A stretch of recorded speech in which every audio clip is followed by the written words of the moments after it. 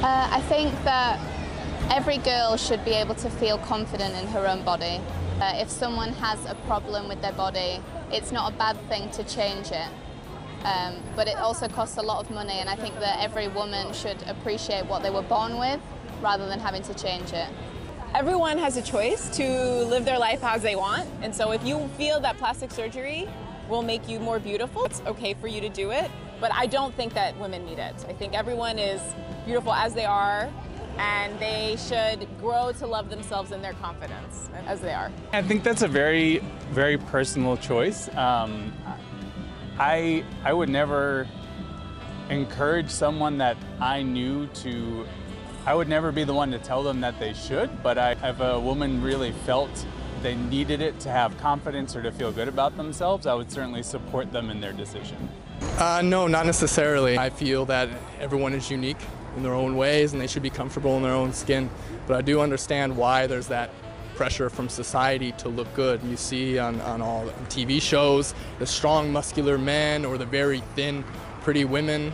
Right, that's the ideal. We've been conditioned to think, so it, it makes it makes sense that a lot of us feel that that's how we should look. I don't I don't think it's right that people should do that, and I, I don't necessarily like when people undergo surgery to make themselves look better. I think that it's becoming too much of a trend. Maybe it's not too bad of an idea for a small altercation, but for the people that go through the multiple, multiple processes, I don't think it's healthy.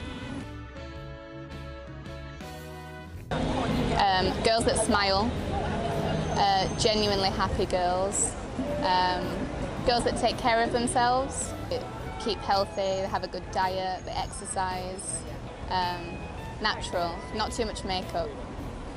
I think the, the, the prettiest girls in the world are the ones who have the most confidence, the ones who are confident in, in who they are and how they, how they look. I, I agree. The, are the most beautiful are the ones that are they love how they look no matter what. So if you love how you look with plastic surgery and it makes you feel good, you're beautiful. If you love yourself without it, you're just as beautiful.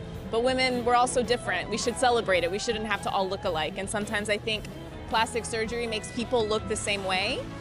And I think there's really something to be celebrated in the differences of beauty. Uh, well, my girlfriend is the most beautiful girl in my heart. Sammy, I love you. I feel everyone has, uh, has their own beauty in some way.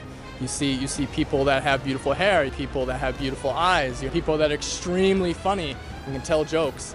So there's, there's beauty not just in appearance, but beauty in their personality and uh, the energy that they, uh, they give off to other people.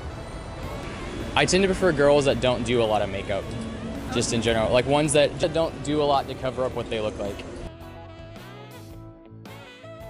My best friend has had plastic surgery. She's got her lip done um, and some cheek fillers. Um, but my other best friend, she's naturally beautiful, so I support them. If it makes them happy, then... I think it depends. If she got plastic surgery, like in the show, to completely change her look, I would be a little sad at first because I would feel like she had to change to be beautiful. Um, but if she became happy and more confident and lived a life she liked, then I would be happy for her in the end. Everyone deserves to live the life they want. So yeah.